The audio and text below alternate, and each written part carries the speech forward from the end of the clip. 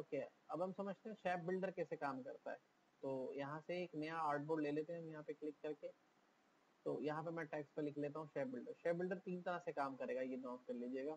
Shape builder थोड़ा काम का टूल है ये, इसका डिज़ाइन में किसी में भी। देखिए शेप बिल्डर हमारा तीन तरह से काम करेगा। एक तो दो तीन ऑब्जेक्ट को मिला के जोड़ देगा।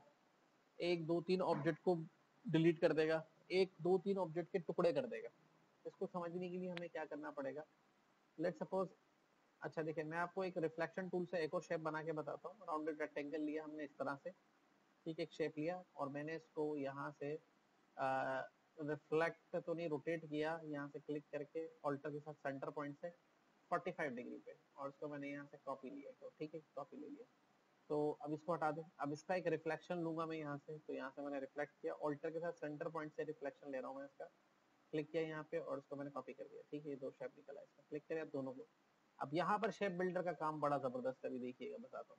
इसके अलावा, पहले मैं आपको बताता हूँ शेप बिल्डर कैसे काम करेगा। यहाँ से हमने देखिए स्क्वायर शेप लिया है और इसके ऊपर कोई भी कलर डाल देता हूँ मैं और इसके ऊपर मैंने इसके ऊपर कुछ और स्क्वायर शेप्स बना दिए ऐसे करके।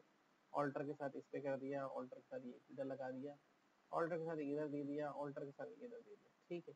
ये कुछ हमने इस पे शेप्स लगा दिए। इनके कलर पहले वॉट कोई भी कलर रख दे, इससे कोई फ़र्क नहीं पड़ा। क्योंकि ये शेप्स इसके साथ है। तो पहला स्टेप और दूसरा स्टेप और तीसरा स्टेप हम भी करने वाले हैं, ये कैसे काम करता है। देखिए, मैंने इसकी एक कॉपी तो ये ले ली, दूसरी कॉपी मैंने इसकी यहाँ रख ली और तीसरी कॉपी मैंने यहाँ रख दी। अब मैंने इन सारे शेप्स को सिलेक्ट कर लिया शेप बिल्डर को यूज़ करने के लिए जितने शेप्स होंगे एक दूसरे को ओवरलैप करेंगे, उनको सिलेक्ट करना पहला स्टेप ये है डिलीट कैसे करेगा? देखिए, जब ये शेप मैंने सेलेक्ट किए तो जो शेप बैक साइड वाले बैक शेप के ऊपर आ रहे हैं और बाहर निकल रहे हैं अगर मैं उनको डिलीट करना चाहता हूँ तो ऑल्टर का बटन होल्ड करूँगा। और देखिए, एक कौन सा शेप लिया ये रहा शेप बिल्डर ठीक है? ऑल्टर के साथ जैसे जैसे क्लिक करता जाऊँगा, जो जो शेप पिछले शेप से आगे निकले हुए पीछे निकले हुए जो भी है, वो इनको मैंने रिमूव कर दिया। और ये इस तरह से बन गया। दूसरा दूसरा इनके टुकड़े करने हैं मुझे। तो मैंने शेप बिल्डर लिया और उसके साथ मैंने ऑल्टर के साथ इधर ऑल्टर के बगैर क्लिक किया, इधर क्लिक किया, इधर क्लिक किया, इधर क्लिक किया। तो तीन, एक, दो, तीन, एक, दो, तीन। और इसके भी टुकड़े करने एक, दो, तीन, एक, दो। ये सारे अलग अलग हो गए शेप अब मैं इनको चाहूँ तो सबको अलग अलग कलर कर सकता हूँ और अलग अलग इनको मैं डील कर सकता हूँ।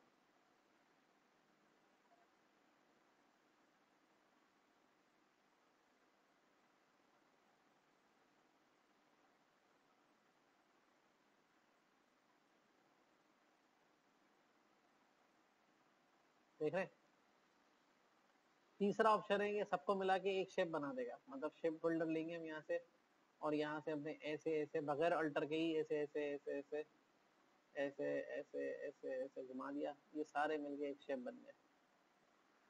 ठीक है, समझ में आ गया शेप बिल्डर का काम? तीन तरह से शेप बिल्डर को आप यूज़ कर सकते हैं। डिलीट करने के लिए, जो भी ओवरलैप होने के बाद क्रॉसिंग्स में आ रहे हैं डिलीट करने के लिए मिलाने के लिए। अब इनको सेलेक्ट करें, इनको क्या करना है? हार्ट बनाना है। शेप बिल्डर लिया, एक, दो, तीन को मिला के हार्ट बनाया ऑल्टर का बटन दबाया, इसको इसको डिलीट कर दिया। सही है? समझ में आई बात? नहीं समझ में आई। तो इस तरीके से आप शेप बिल्डर को यूज़ करेंगे। और इसका रिफ्लेक्शन करना है तो यहाँ से ऑल्टर के साथ क्लिक किया, यहाँ से देखिए इसका रिफ्लेक्शन लिया, ये से कॉपी कर दी रिफ्लेक्शन आ गया इसका। ठीक है शेप बिल्डर समझ में आया कैसे काम करता है?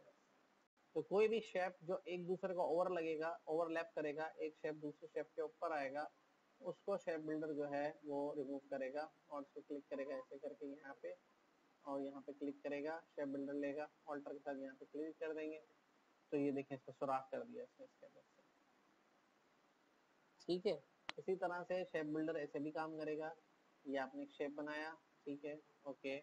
आपने इसी का एक और शेप बनाया यहाँ पे। और इस पर क्लिक किया आपने ऑल्टर के साथ। अब ये इधर इधर कान लगाना है पता ही नहीं पड़ रहा कितने डिस्टेंस पे आएगा। तो क्लिक किया आपने, यहाँ पे शेप बिल्डर रिफ्लेक्शन लिया। इसका सेंटर पॉइंट लिया सेंटर पॉइंट पे क्लिक करके ऑल्टर से क्लिक किया। वर्टिकल किया। बिल्कुल उतने डिस्टेंस पे बिल्कुल सेम निकल के आ जाएगा। इस तरह से रिफ्लेक्शन लिया। अब इनको मिला के एक करना है। तो भाई ठीक है, एक कर दो। ये लो ऐसे करके ये एक हो गया। ये ये एक शेप बन गया इसका, इस तरीके से। ठीक है। अब इसके सेंटर में इसकी स्माइल बनानी है। ठीक है, इसकी स्माइल हमने कुछ इस तरह से बना दी। और इसकी जो स्माइल है इसको क्लिक करके यहाँ से हमने पहले कर्व को ख़त्म कर दिया कॉर्नर्स पे क्लिक कर दिया, यहाँ से भी क्लिक किया कॉर्नर्स पे क्लिक कर दिया। अब ये इस तरह से बंद तो रहा है, लेकिन इसको थोड़ा सा नीचे की तरफ़ ज़्यादा लेके जाना है।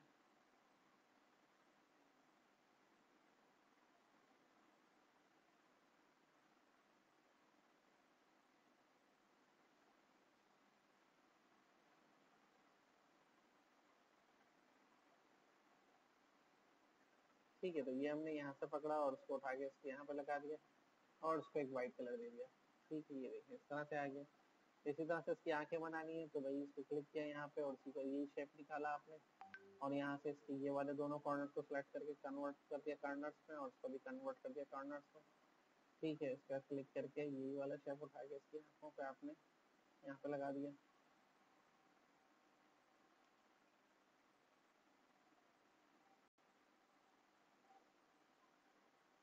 समझ में आ रही है बात? ये नहीं आ रही है। इस तरीके से ही बहुत सारी चीज़ें कर सकते हैं। इन दोनों को सबको सेलेक्ट कर लिया। शेप बिल्डर पे क्लिक किया और ऑल्टर के साथ इसको यहाँ क्लिक किया। ऑल्टर के साथ यहाँ क्लिक किया। ये रिमूव हो गया, ये रिमूव हो गया रिमूव हो गया। ये शेप था ओरिजिनल निकल आया इस तरीके से। देख रहे तो ये सारी चीज़ें जो है शेप बिल्डर्स के साथ आप ऐड करके यूज़ कर सकते हैं। ऐसे काफ़ी सारी चीज़ों को आप यूज़ करके बना सकते हैं शेप बिल्डर से। हार्ट बना के दिखाया। ऐसे बहुत सारे शेप्स हैं जो एक दूसरे से मिलने के बाद जो है वो और बेहतर हो जाते हैं। जैसे हमने यहाँ पे एक डिज़ाइन बनाना है हमने स्क्वायर बनाया, क्लिक किया, शिफ्ट के साथ इसको यहाँ से इस तरह से कर दिया। अब इसको ऑल्टर के साथ इसके नीचे ले लिया। इसके साथ ले लिया यहाँ पे, इन सबको सिलेक्ट कर दिया। शेप बिल्डर लगाया हमने। कितने इसके हिस्से करने हैं? एक, दो, तीन, चार, पाँच छः हिस्से कर दिए हमने इसके। ठीक है, यहाँ पे क्लिक किया और यहाँ पे क्लिक करके ग्रीन कलर दे दिया और यहाँ पे क्लिक किया ग्रीन कलर दे दिया। यहाँ पे क्लिक किया ग्रीन कलर दे दिया। ये डिज़ाइन बन गया।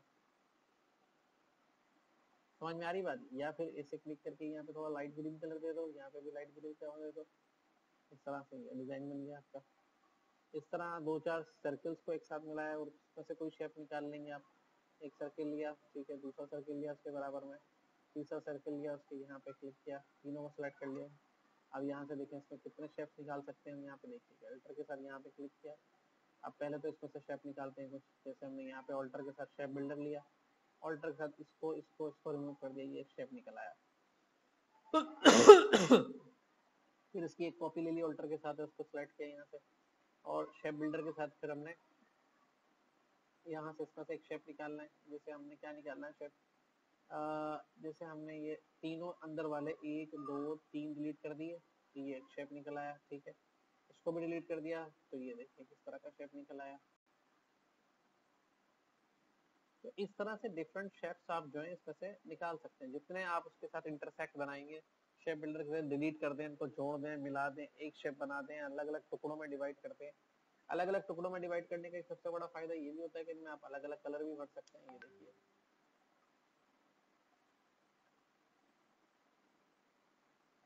अब इस तरह का शेप आपको निकालना बड़ा मुश्किल होगा, लेकिन देखें इसमें से निकाल लिया आपने। अब मिसाल के तौर पर आपको यही शेप चाहिए, सबको सिलेक्ट कर लिया। अब यहाँ से शेप बिल्डर ले लिया आपने और अल्टर एक क्लिक कर दिया डायरेक्टली ये टुकड़ा ही अलग हो गया। उसको पकड़े, अलग से कर लें।